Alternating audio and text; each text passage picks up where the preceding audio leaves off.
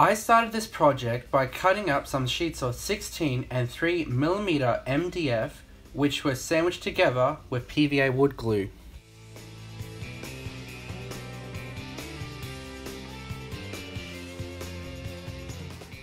After the glue dried, I drew out a basic flintlock pistol design which was then cut out with a jigsaw.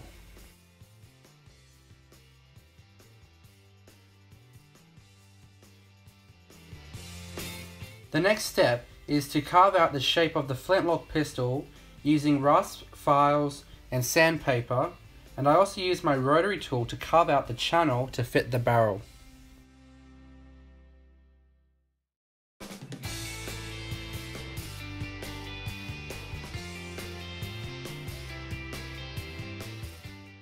For the details on the gun, I took a scrap piece of PVC pipe and flattened it out with a heat gun and clamps, which was used to make all of the pieces displayed here. The curved plate for the hammer and frizzen was made by creating a template with masking tape for a piece of PVC plastic to be cut and curled over the handle and filed until both sides were symmetrical.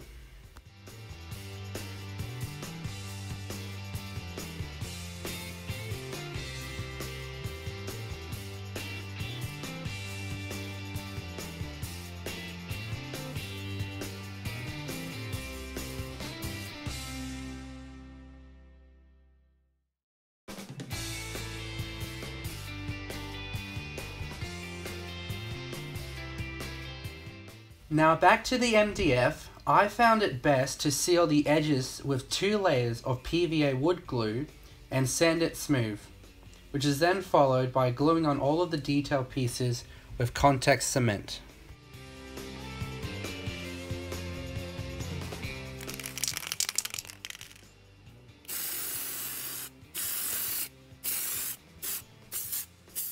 Before painting can be started, a coat of primer is applied and then sanded back to expose the imperfections, which were then fixed with multi-purpose gap filler and then again sanded smooth and given another coat of primer.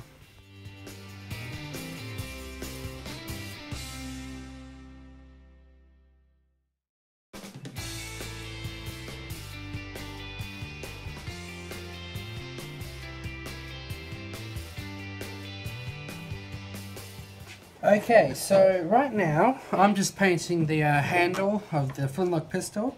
Now what I find best to get the best um, effect that the paint looks like wood is you first go with like what I'm doing, a light brown, and then I'm painting back over it with a much darker brown.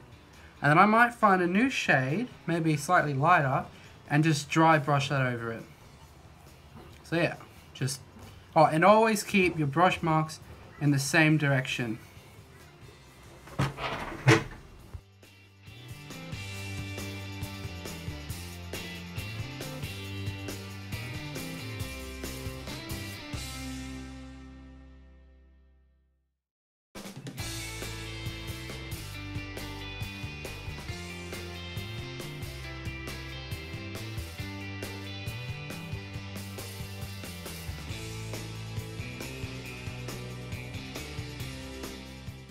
For the rest of the painting, I use watered down acrylic paint mixtures to get an appropriate colour for the pieces to look like metal, which was brushed on gently to reduce brush lines. Each different colour or layer was then sealed off with clear spray. To finish off the weathering, I applied some dark acrylic wash over the pistol and wiped away the excess, which was then fully sealed off with more clear spray.